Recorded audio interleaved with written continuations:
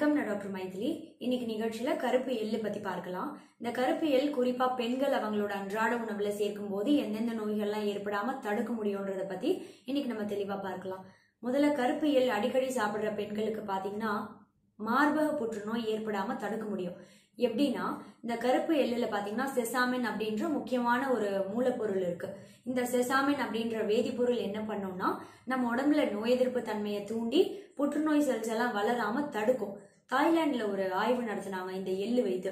இந்த ரிசர்ச்சோட முடிவில் என்ன சொன்னாங்கன்னா எள் அடிக்கடி நம்ம அன்றாட உணவில் சேர்த்துட்டே வந்தோம்னா புற்றுநோய் ஏற்படாமல் தடுக்க முடியும். அதோட மட்டும் இல்லாமல் புற்றுநோய் இருக்கிறவங்களும் அவங்க அன்றாட உணவில் எள்ளு சேர்க்கும் போது புற்றுநோய் செல்ஸ் எல்லாம் அழிக்கக்கூடிய அந்த தன்மையும் எள்ளில் நிறைய இருக்குது அப்படின்னு சொல்லியிருக்காங்க.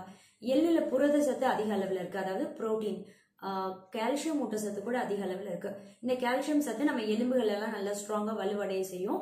பெண்கள் அவங்க அன்றாட உணவுல எள்ளு சேர்க்கும் போது பாத்தீங்கன்னா மாதவிடாய் நிக்கிற காலகட்டத்தில் ஏற்படக்கூடிய மூட்டு வலி கை கால் வலி எல்லாம் ஏற்படாம தடுக்க முடியும்.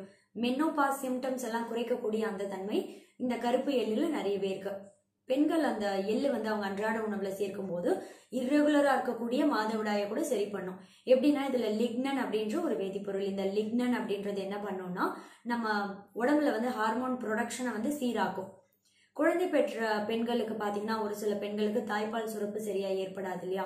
இவங்க அவங்க அன்றாட உணவுல அளவோட இந்த கருப்பு எல்லை சேர்த்துட்டே வந்தாங்க அப்படின்னா அவங்களோட மில்க் ப்ரொடக்ஷன் வந்து அதிகமாகும்.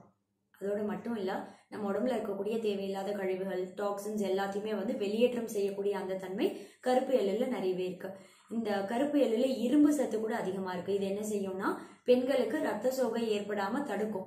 நம்ம உடம்புல ரத்த சிவப்பு அணுக்களோட எண்ணிக்கையை அதிகமாக்கி அனிமியா ஏற்படாம தடுக்கிறதுக்கும் இந்த கருப்பு எல் ரொம்ப உதவியா இருக்கும். கண்டிப்பா எல்லா பெண்களும் அவங்க அன்றாட உணவுல கருப்பு எள் வந்து நீங்க ஏதாவது சேலட் சாப்பிட்றீங்க அப்படின்னா அது மேல தூவிக்கலாம். ஸ்ப்ரிங்கிள் பண்ணி சாப்பிடலாம். அப்படி இல்லைன்னா கருப்பு எல்லோட வந்து வெள்ளம் சேர்த்து உருண்டை மாதிரி பிடித்து இந்த உ- எள்ளு உருண்டைன்னு சொல்லுவாங்க இல்லையா? இதெல்லாம் கண்டிப்பா பெண்கள் அவங்க அன்றாட உணவுல சேர்க்கணும் அப்படின்றதுக்கான ஒரு விழிப்புணர்வு தான் இன்னைக்கு பார்த்தோம். மீண்டும் வேற ஒரு ஆரோக்கிய நிகழ்ச்சியுடன் உங்களை சந்திக்கிறேன். நன்றி கூறி விடைபெறுவது டாக்டர் மைதிலி. இந்த தகவல் உங்களுக்கு பிடிச்சிருந்தா லைக் பண்ணுங்க உங்க ஃப்ரெண்ட்ஸுக்கு ஷேர் பண்ணுங்க. மறக்காம எங்க சேனலுக்கு சப்ஸ்கிரைப் பண்ணுங்க.